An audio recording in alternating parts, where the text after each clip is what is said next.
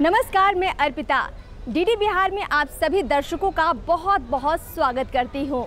आज़ादी के अमृत महोत्सव के उपलक्ष्य में Maitreya college of education and management में युवा उत्सव कार्यक्रम का आयोजन हो रहा है। इस कार्यक्रम में भाषण, कविता लेखन, चित्रकला और मोबाइल फोटोग्राफी प्रतियोगिता आयोजित हो रही है। उसकी आपको कुछ झलकियाँ भी दिखाएँगे। साथ ही आपको बता दें कि यहाँ पर सांस्कृतिक प्रस्तुतियाँ भी हो रही हैं। तो चलिए उसकी झलकियाँ भी आपको दिखाते हैं।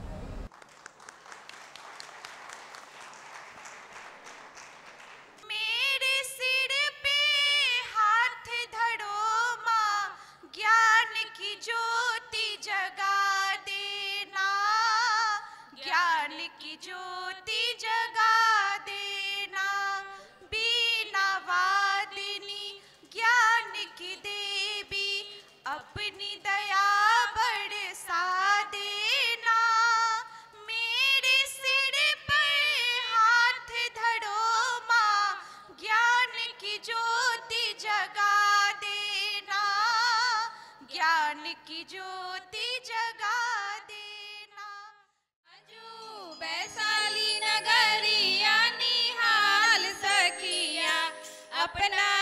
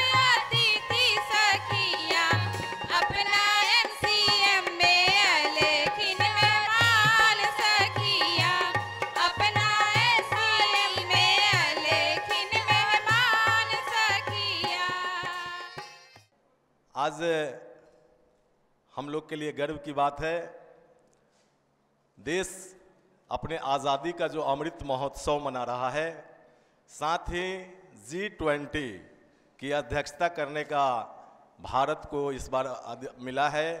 भारत जी ट्वेंटी की अध्यक्षता कर रहा है। इस अवसर पर हम आप लोग को शुभकामना देते हैं, बधाई देते हैं।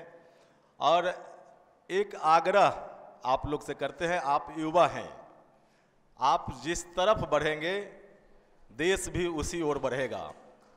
आप अच्छे नागरिक बनेंगे, देश के लिए कुछ करेंगे तो निश्चित तौर पर प्रधानमंत्री आदरणीय नरेंद्र मोदी जी का यह सोच कि इस सदी में देश पुनः विश्व गुरु बने।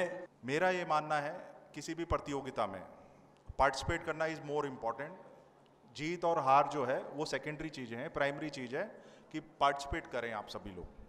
तो आप जितने भी यहाँ पे प्रतिभागी हैं जो इस मीटिंग हॉल में, इस यहाँ पे कॉन्फ्रेंस रूम में उपस्थित हैं, सभी को मेरी तरफ़ से, जिला प्रशासन की तरफ़ से बहुत बहुत शुभकामनाएँ।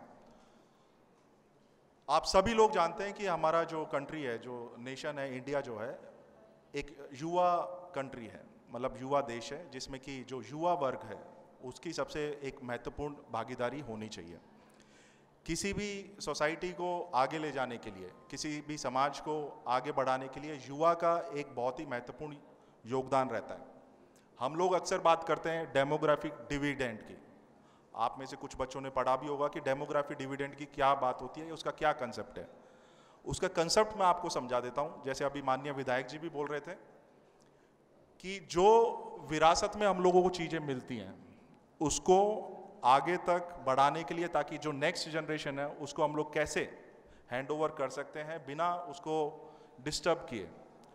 इस विरासत को कंटिन्यू करने के लिए जो डेमोग्राफिक डिविडेंट है, जो युवा वर्ग है, उसका एक बहुत इंपॉर्टेंट रोल है। युवा वर्ग को जब तक कि हम लोगों का इतिहास नहीं पता होगा, जब तक हम लोगों का प्रेजेंट नहीं पता होगा तब तक वो अपने फ्यूचर की प्लानिंग नहीं कर पाएगा। Participation is more important it is key element rather than winning और लूजिंग वो तो चलता रहता है। मेन कार्य है कि पार्टिसिपेट करना, अपनी तरफ़ से 100 परसेंट देना और जो एक बात बोलते हैं स्पोर्ट्समैनशिप स्पोर्ट्समैनशिप स्पिरिट के साथ में लिमिट्स ऑफ़ द गेम में या फिर जो भी आपके साथ पार्टिसिपेशन हो रहा है, उसमें देना। अब इसकी वजह क्या है? इसका फ़ायदा क्या है कि कुरिकुलम के साथ साथ जो एक्स्ट्रा कुरिकुलर है, जिसको हम लोग बोलते हैं होलिस्टिक डेवलपमेंट हिंदी में सर्वांगीण विकास। अत्यंत आवश्यक है पर्सनालिटी डेवलपमेंट के लिए। आने वाले जो चैलेंजेस आप लोग फेस करेंगे, युवा वर्ग से टीनेज से निकल करके जब आप लोग रोज़गार, रोजगारोन्मुख जीवन जी- बिताएँगे, उसके लिए ज़रूरी है कि पर्सनैलिटी एक हरफन मौला, जिसे हम लोग कहें ऑलराउंडर उसको बनाने में इस तरह के प्रोग्राम्स बहुत ज़रूरी हैं। आप लोगों को ना केवल अपनी एक्स्ट्रा करिकुलर एक्टिविटीज़ और अपने टैलेंट दिखाने का प्लेटफॉर्म प्रोवाइड करते हैं, बल्कि आगे चलने के लिए मोटिवेट करते हैं। भारत की उस युवा पीढ़ी का प्रतिनिधित्व करते हैं, जो इसमें विश्वास रखती है कि हम तो दरिया हैं। हम तो दरिया हैं, हमें अपना हुनर मालूम है। जिस तरफ़ हम चल पड़ेंगे, रास्ता बन जाएगा। आप जिधर चलेंगे, रास्ता बनाएँगे। सफलता आपके कदम चूमे। आप इस देश के भावी नहीं, वर्तमान युवा हैं। इसलिए कुछ ऐसा रचिए, कुछ ऐसा खेल रचो साथी। गोपाल सिंह नेपाली ने कहा था कि जवानी जिनके जिनके पास जमाना, उनका उनका दास। लेकिन आप ऐसे कर्तव्य करिए इस देश के लिए, जिससे इस देश का, भारत का नाम रोशन हो और विश्व गुरु बनने की प्रक्रिया में हम सब जो शामिल हैं, उसे प्राप्त कर सकें। तकनीक के इस युग में अपनी विरासत को बचाए रखना एक बड़ी चुनौती है। हम अपनी विरासत को बचाएँ, अपनी भाषा पर गर्व करें। हमारे साथ कार्यक्रम के आयोजक श्वेता सिंह जी हैं, इनसे बातचीत करते हैं। ये जो पूरा कार्यक्रम हो रहा है, आज़ादी का अमृत महोत्सव के उपलक्ष्य में युवा उत्सव कार्यक्रम, सबसे पहले बताइए कितना उत्साह आपके मन में है, जितने प्रतिभागी पहुँचे हैं, कितने खुश हैं, कितने प्रेरित हैं? नेहरू युवा केंद्र वैशाली, युवा कार्यक्रम एवं खेल मंत्रालय भारत सरकार के द्वारा आज Maitreya college of education and management में युवा उत्सव का कार्यक्रम आयोजित किया गया है। इस कार्यक्रम का थीम अमृतकाल के पंचप्रण से है, जिसमें भारी संख्या में युवाओं ने भाग लिया है। इसके अंतर्गत हम पाँच प्रतियोगिताएँ करवा रहे हैं, जिसमें भाषण प्रतियोगिता है, पेंटिंग है, कविता लेखन है, मोबाइल फोटोग्राफी है और कल्चरल प्रोग्राम है। जिसके अंतर्गत हमें अ, 200 से ज़्यादा प्रतिभागी इसमें पार्टिसिपेट कर रहे हैं। और यहाँ से जो प्रतिभागी जीतेंगे वो वैशाली ज़िले को आगे राज्य स्तर पे रिप्रेजेंट करेंगे और वहाँ भी अगर वो चयनित होते हैं तो उनको नेशनल लेवल पे भी खुद को वैशाली ज़िले को रिप्रेजेंट करने का मौका मिलेगा। जितने भी छात्र छात्राएँ कार्यक्रम में हिस्सा लेते हैं, उनके मन में एक लक्ष्य होता है। क्या वो लक्ष्य जो पूरा हो पाता है, नहीं हो पाता है? जब यहाँ से वो छात्र निकलेंगे छात्र छात्राएँ निकलेंगे, किस तरह से आप उनको मोटिवेट करेंगी? नेहरू युवा केंद्र वैशाली ऑफकोर्स एक प्लेटफॉर्म दे रही है युवाओं को। हमारे युवा मंडल होते हैं जो गाँव में होते हैं। तो हम ग्रामीण युवाओं से लेकर शहरी युवाओं तक सभी को एक प्लेटफॉर्म दे रहे हैं जो उनमें हिडन टैलेंट्स हैं। जो एक्स्ट्रा करिकुलर एक्टिविटीज़ हैं, उनको अपने एक, यहाँ पर प्रस्तुत करें और एक प्लेटफॉर्म दे रही है नेहरू युवा केंद्र वैशाली, जिसके थ्रू वो वो अपने आप को रिप्रेजेंट करके आगे बढ़ सकते हैं। तो इसके लिए मैं सभी प्रतिभागियों को, आयोजक स्थल, Maitreya college of educational management सभी हमारे निर्णायक मंडल के सदस्य, सभी प्रतिभागीगण, सभी को बहुत बहुत धन्यवाद देती विरासत पर गर्व से पहले हमें विरासत शब्द को जानना होगा। विरासत शब्द का अर्थ होता है जो हमें पूर्वजों से धरोहर के रूप में प्राप्त हुई हो। ये उन स्वतंत्रता सेनानियों से है जिन्होंने मुझे आज़ादी अंग्रेज़ों की गुलामी जैसे जंजीरों से मुक्त करवाया है, जिसके लिए उन्होंने अपने प्राणों तक की आहुति दे दी। आज भारत जब सुपर पावर बनने के ओर अग्रसर हो रहा है, उसके पहले हमें अपने उस विरासत को संजोने एवं संरक्षित रखने के लिए तत्पर रहना होगा। जिसके बूते आज हम इस मुकाम तक पहुँचे हैं, ये देश, ये उस दौड़ की विरासत कसौटी है। जब हम फिरंगियों के फेरे में फंसे थे, तब हम, तब एक शब्द आया था रंग दे बसंती चोला, जिसकी एक आवाज़ से पूरे टोले के टूले उमड़ उमड़ आते थे। कि देशभक्त से ही देश की जान है, देशभक्त से ही देश की मान है। हम उस देश के है फूल यारो इस देश का नाम हिंदुस्तान है, इस देश का नाम हिंदुस्तान है। हमारे आसपास किसी भी कोने, हमारे आदतों के भीतर, अगर गुलामी का कोई भी अंश है तो उससे मुक्ति पाना। और इसे हर हाल में हमें मुक्ति पानी ही होगी। ये हमारी दूसरी प्राण शक्ति है।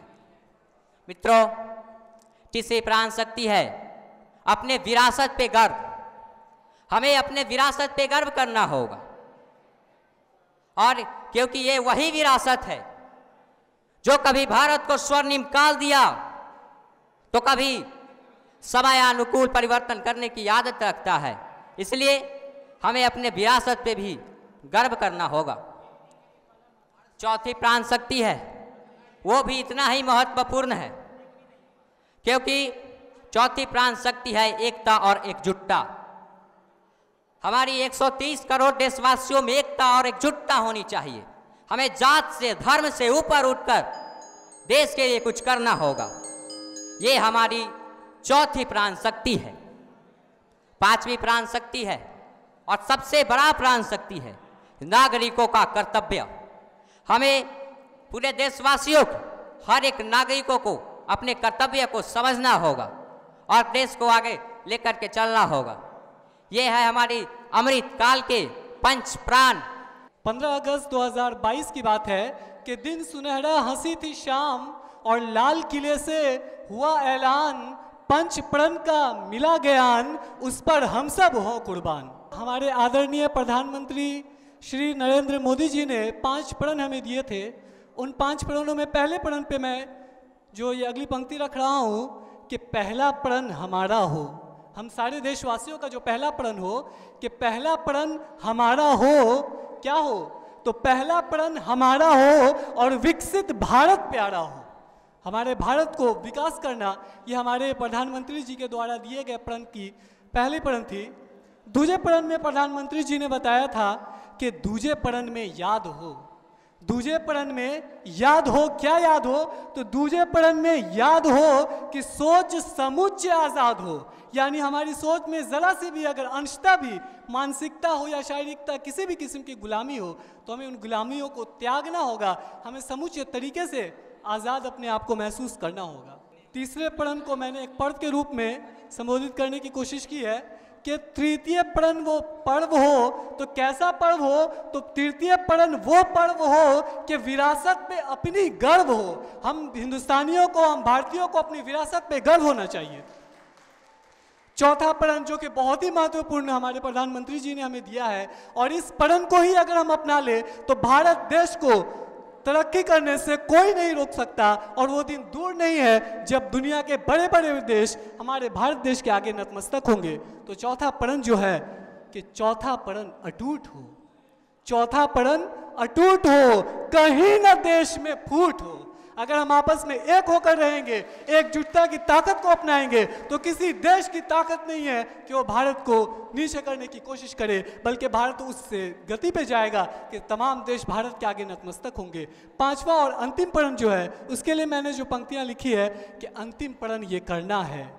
अंतिम पढ़न ये करना है तो अंतिम पढ़न में क्या करना है? हम सारे नागरिकों को क्या करना है? तो अंतिम प्रण ये करना है, कर्तव्य पर मर मिटना है। हमारा जो कर्तव्य मिला है, उसे पूरा करने के लिए हम अपने आप को मिटा देंगे। और जब तक हमारे देश को विकास नहीं हो जाए, हमारा देश अमेरिका और किसी भी बड़े देशों से आगे और कंधे से कंधा मिला कर न पड़ जाए, हम अपने कर्तव्य से एक कदम भी पीछे नहीं हटेंगे।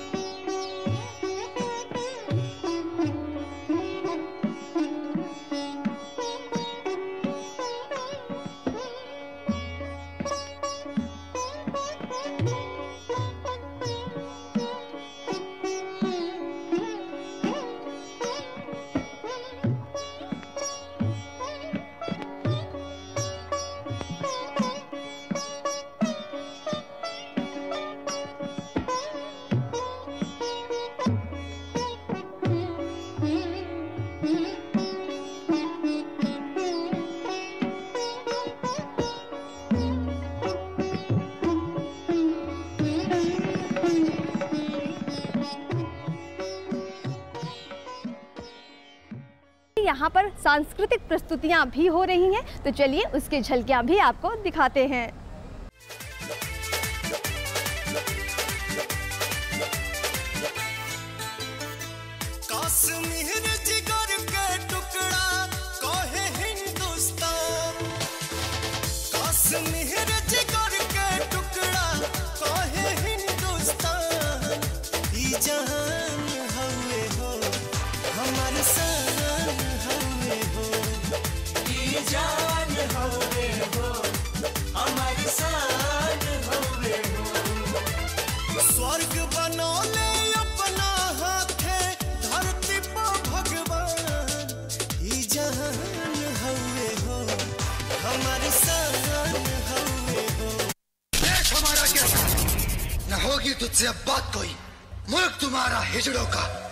दिल में है जज्बात कोई। हम भारत माँ के सपूत हैं। ईट से ईट बजा देंगे। तू दर दर ठोकर खाएगा, ऐसा कोहराम मचा देंगे।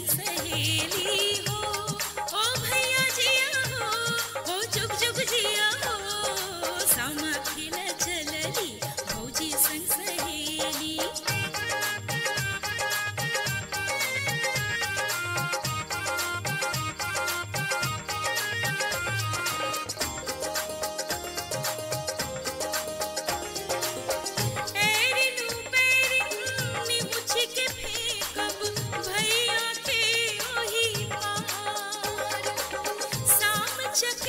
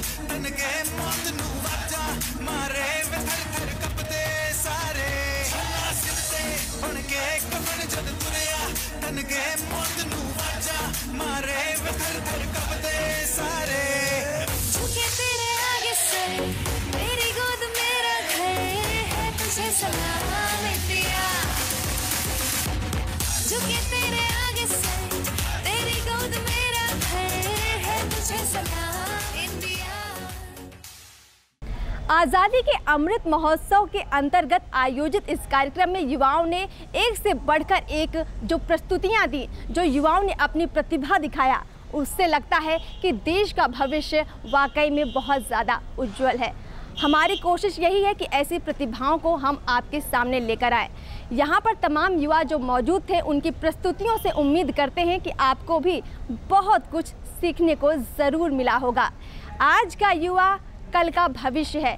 देश के निर्माण में, देश के भविष्य को उज्जवल बनाने में इन युवाओं का बहुत ज़्यादा योगदान रहने वाला है। जितने भी युवा ये कार्यक्रम देख रहे हैं, वो भी ऐसी कोशिश ज़रूर कर सकते हैं, तमाम ऐसे प्रयास कर सकते हैं, जिससे समाज में, हमारे देश में ऐसी उदाहरण प्रस्तुत हों कि लोग भी कहें कि वाकई में भारत का युवा है, इससे सीखना चाहिए। तो चलिए फ़िलहाल इस कार्यक्रम में इतना ही। दूरदर्शन बिहार के साथ अपना प्यार बनाए रखिए। मुझे दीजिए इजाज़त। नमस्कार।